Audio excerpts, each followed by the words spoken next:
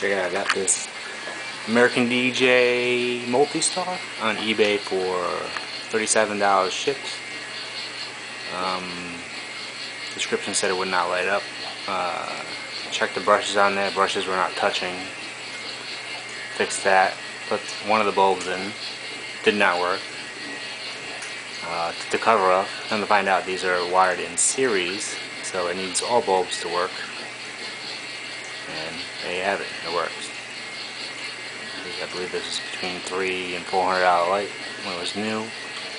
Thirty-seven dollars, maybe about twenty minutes worth of work on it, and it works great.